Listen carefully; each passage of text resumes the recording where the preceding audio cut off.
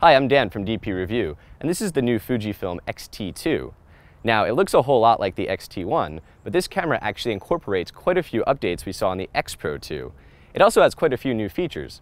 Let's take a look. The X-T2 is the company's flagship SLR-style camera built for speed. It features a 24 megapixel APS-C sensor and makes use of an X-Trans filter array. The camera features a new shutter that goes up to 1 8,000th a second and is the first Fujifilm camera to offer 4K video capture. 4K can be recorded both internally or to an external device via HDMI out. The camera's flash system also gets a significant revamp, as does the whole menu system to match that of the X-Pro2.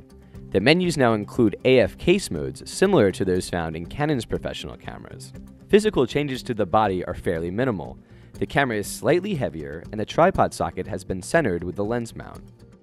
The camera uses the same electronic viewfinder and LCD as its predecessor. The screen still tilts, but now articulates vertically as well.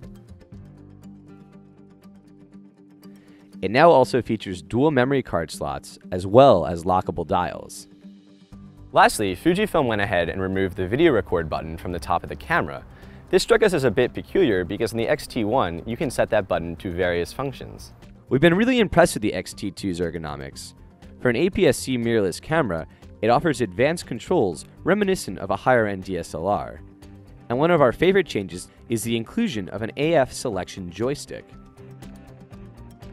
Running out the package is a new battery grip, which when attached allows for three total batteries to be used. The battery grip also adds a headphone socket, and includes a switch to set the camera to boost mode, increasing the camera's burst speed and performance. Once again, I'm Dan, thanks for watching, and for more on the X-T2, head to dpreview.com.